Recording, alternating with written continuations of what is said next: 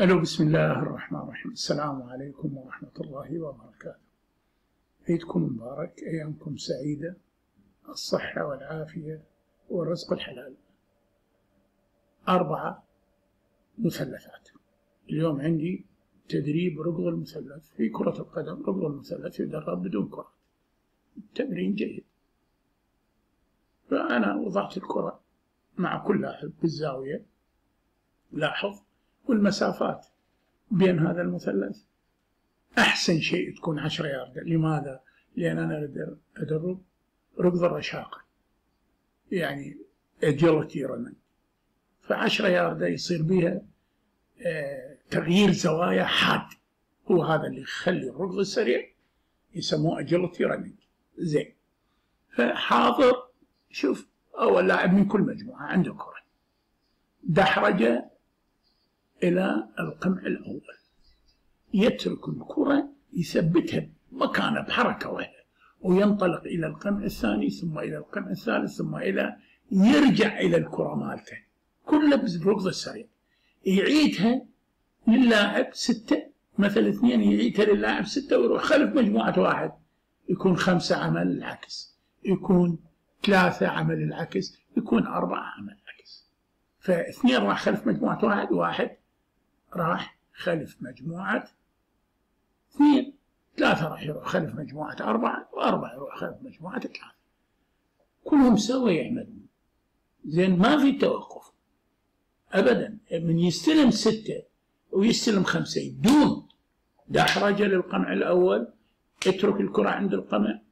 ركض سريع مثلث ارجع للكرة. مررها لنفس المجموعة اللي انطلقت انطلقت منها. واذهب إلى المجموعة. البعيدة.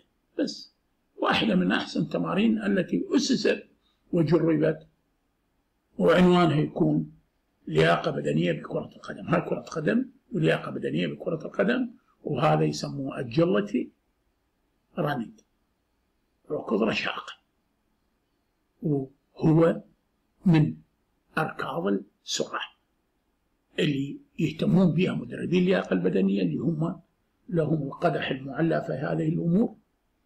ووضع الكرة غير من آه، ما يعرف بمظهر الفعالية فجعلها مية بالمية كرة قدم.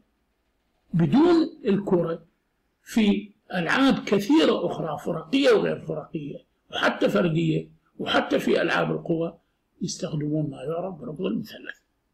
هذا هو الفيصل في سؤال وردني عن هذا الموضوع. راد تمرين يعني غير مجرب من قبل فرق وكذا. قلت له عندي أنا أنا مؤسس أنا ديزاينر مال فعاليات. إيه هذا اللي يعني أعمل عليه الآن. ف الركض المثلث أريد 10 ياردات مو أكثر لأن راح أضع الآن بعد تمرين على هذا الموضوع على ركض المثلث مع الكرة. وبدون كرة.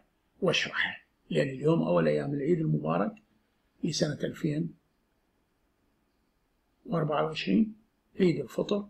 أنعم الله علينا بإتمام شهر رمضان المبارك. نسأل الله تعالى أن يتقبل منا ومنكم طاعاتنا عبادتنا نيتنا الصافية تنظيف نفسنا من شرور الدنيا إن شاء الله. كل لاعب يعمل أربع مرات. أعطي راح. ما انتهى التمرين. ثم يرجعون كل مجموعة مكانها. آه إلى الزوايا. نسوي نفس الفعالية نفس التكرار مرحلة ثانية. نفس التمرين. ابدي أول لاعب من كل مجموعة ركض مع الكرة أو دحرجة سريعة. ثبت الكرة عند المانع عند العلامة الأولى ثم اركض المثلث. انتبه عليه. المثلث ضلع الأول ضلع الثاني الضلع الثالث ما يروح للكرة مالته. يذهب إلى كرة زميله رقم واحد. لأن يعني رقم واحد من ثبت كرته وركض واحد اثنين. ما يذهب إلى كرته يروح إلى كرة اثنين. فأنا ثبت الكرة وأركض ضلعين من المثلث الثالث باتجاه كرة زميلي نفس الشيء يعمل اللاعب. واحد نفس الشيء يطبقون أربعة وثلاثة وهكذا. فاللاعب اثنين اجى مرر الكرة للاعب خمسة اللي ينتظر خلف واحد واللاعب واحد.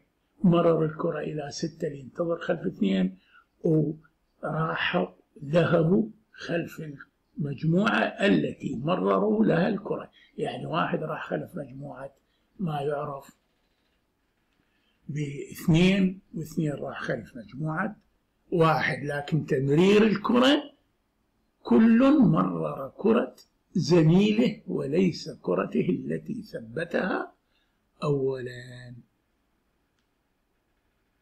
اللهم صل على سيدي رسول الله الهادي الأمين. شفيعنا يوم الدين. تكرار أربعة يصير كل لاعب عمل ثمان مرات. أنا أنصح أنصح. نصيحة لله. مدربين اشتغلوا على هذه الفعاليات اللي تطور عندك ما يعرف بلياقة اللعبة. حلو. أنه دحرجة عندك سريعة تترك الكرة تذهب تركض مثلث ترجع للكرة تمرر تروح سريع خلف المجموعة البعيدة نفس الشيء أربعة يشتغلون بنفس الوقت. فنحتاج ما يعرف بال coordinated movement. فيحاول اللاعب ينتبه للمدرب لأن المدرب يشوف من الساحة ما يقول غير كلمة. quickly quickly quickly quickly speed speed speed speed accurate accurate يعني باص مدحرج يعني ما ينطي تعليمات وشيل راسك وما اعرف شنو؟ هاي ألف ب عند اللاعبين المتقدمين. نعم هذه التمارين مناسبة لمراحل التطوير والكرة المحترفة. السلام عليكم ورحمة الله وبركاته. عيدكم مبارك مرة ثانية. أنا موفق المرء شكرا جزيلا.